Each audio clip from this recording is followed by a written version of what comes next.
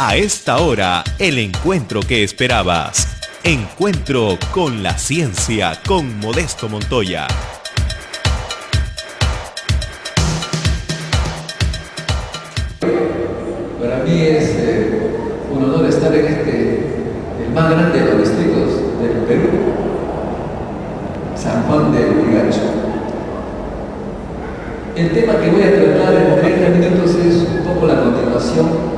Ustedes han escuchado, es decir, el rol del conocimiento, la ciencia y cómo la mujer en este marco está entrando con mucha mucha fuerza. Ustedes saben que el hombre tiene 100.000 años y al principio los hombres dominaban en la época primitiva porque en esa época para defender la casa se necesitaba fuerza muscular y por lo tanto la mujer en ese sentido tiene un poco de desventaja, salvo algunas que son bien, bien bravas, pero en general las mujeres muscularmente son más débiles y en esa época era el hombre el hombre que tomó eh, el control de la defensa de la, del en esa época de la caverna.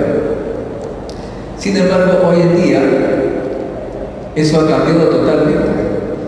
Ya los que triunfan, los que defienden la casa, los que defienden el barrio eh, y, y el país, ya no son los musculosos, sino aquellos que tienen los mejores cerebros, los mejores preparados. Por esa razón, las mujeres que de cerebro no les falta, están tomando las riendas de muchas empresas y muchos organismos del Estado. Ya no es nada raro ver en algunas instituciones del Estado que la mayoría es mujer, está compuesta de mujeres. Las jefas son mujeres la, dice que los ministerios eh, del Perú en realidad tienen que seguir lo que el Ministerio de Energía, de Economía y Finanzas manda. Y en este momento eh, la que manda en el Ministerio de Economía y Finanzas es una mujer. Creo que eh, estamos en otra época, ya los cerebros están funcionando bien y el Estado está usando la capacidad, el conocimiento de las mujeres. Pero por otro lado, el conocimiento en el, en el mundo es el que está también dando los lineamientos y dominando el panorama mundial. Por eso, hoy en día se dice que estamos viviendo en la sociedad del conocimiento. La sociedad del conocimiento significa eso, que es el conocimiento la fuente de la riqueza. El Banco Mundial ha hecho una estimación y nos señala que solamente para explicar la riqueza de un país, solamente la quinta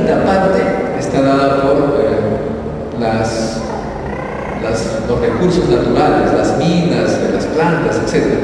Y que las cuatro quintas otras de la riqueza vienen del cerebro, de la manera como se han preparado los muchachos de las escuelas, de la manera como nos relacionamos mutuamente, es decir, la riqueza hoy en día viene del cerebro.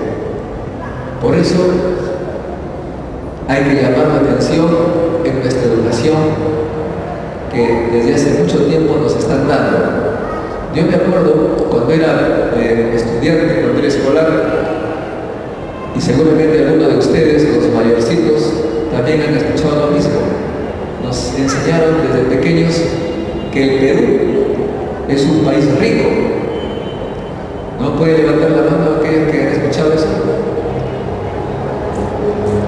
Bueno, en Japón los chicos aprenden otra cosa desde la escuela. Dicen Japón es un país pobre. De modo que los japoneses, convencidos de que son pobres, trabajan como pobres, o sea, duramente. Y nosotros como nos han enseñado que somos ricos, entonces el trabajo que hacemos es como si fuésemos ricos. No solamente ellos, sino también en la manera de alimentarse, eh, nos alimentamos como ricos y los japoneses como pobres. Visité Japón hace ya algunos años y descubrí los famosos sushis. Son restaurantes donde hay fajas Y en estas cajas hay platitos, como que fueran estos eh, de taza de té, que soportan la taza de té, pequeñitos, y en cada platito había una, un manjar, un alimento, había arroz, había sushi, había eh, los alimentos en estos platitos. Y los japoneses, y por supuesto los que estábamos allí, escogíamos los platitos y consumíamos lo que necesitábamos y al final quedaba en cada asiento, cada, frente a cada cliente, una ruma de platitos. Venía el cobrador y cobraba por el número de platitos en el Perú y, por supuesto no quedaba absolutamente nada de resto, que uno pedía, lo, sacaba el número de platitos que necesitaba. Aquí cuando voy a un restaurante y le pido un eh, cabito norteño, me dan una tremenda ropa de arroz, una tremenda ropa de frijoles y yucas encima y claro, unos 5 o 6 gramos de cabito. O sea que en realidad no es cabrito, sino es arroz con frijoles, yuca, adornado de un pequeño trozo de cabrito. Pero la mayoría de nosotros dejamos la mitad de eso. No tenemos eh, cuidado con lo que se desperdicia. Y en los restaurantes la mitad de lo que sirvieron en las mesas se va a alimentar los chanchos, en el mejor de los casos. Quiere decir que somos un pueblo que con esta idea de que somos ricos, gastan como ricos y en, el fondo lo que tenemos es más y más pobreza.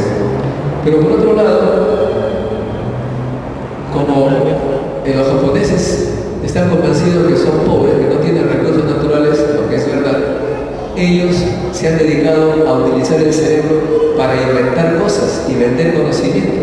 Inventar lo que ustedes ven acá, por ejemplo, las laptops, eh, las cámaras digitales, eh, las cámaras eh, de grabación, es decir, están vendiendo conocimiento. Todo ello gracias a que tienen mucho, mucho cuidado con preparar a su gente sobre la base del conocimiento, de la inventiva, de la innovación. Nosotros, en cambio, en el Perú, los diversos gobiernos nos dicen que somos muy ricos y hay que explotar las riquezas naturales, es decir, hay que explotar las minas y explotando las minas, hasta ahora seguimos pobres, porque las minas no nos dan riqueza suficiente para vivir. De modo que Japón tuvo razón, apostó al conocimiento, son ricos los japoneses y nosotros creemos que somos ricos, nos dedicamos a explotar las minas y finalmente somos lo que somos, es decir, eh, un país con pocos recursos para cada familia. Ese es el primer mensaje que yo quería dejarles hoy. Encuentro con la ciencia con Modesto Montoya.